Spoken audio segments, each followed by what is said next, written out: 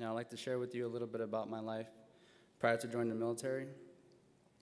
From elementary to high school, I had a fairly average life, playing many sports, from basketball to travel ball and club soccer. While in high school, I successfully completed a career pathway of accounting, which I studied for three years. And I was able to pick up many certifications along the way through the County of San Bernardino, and with that, I gained a sports academic scholarship. So at the age of 17, I decided it wasn't enough, and I joined the greatest fighting force I could, the United States Marine Corps. Raw. During my time in Afghanistan while operating in the Helmand province, my unit, 4th Light Armor Reconnaissance Battalion, and team faced many challenges along the way.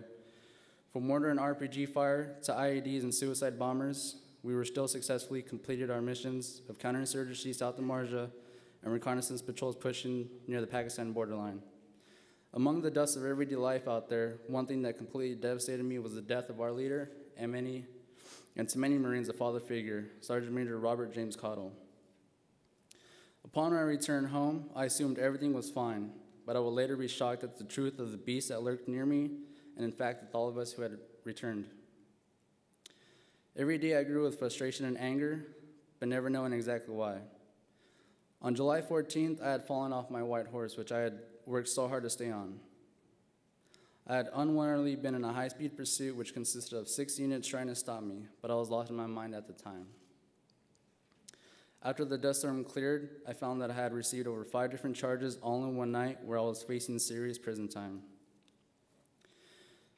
Now, to the best part. The VA and Orange County Combat Veterans Treatment Court has helped me in many ways. The combination of services that they both offer comes second to none.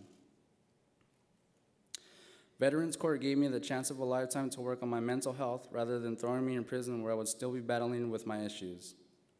With Veterans Court working alongside the VA, I was fortunate to have gone through the following courses to name a few mindfulness, cognitive therapy, substance abuse, PTSD courses, and exposure therapy, which they really do work actually. I am very thankful for what Veterans Treatment Court and the VA stand for, and that is helping those in need, and I was one of them.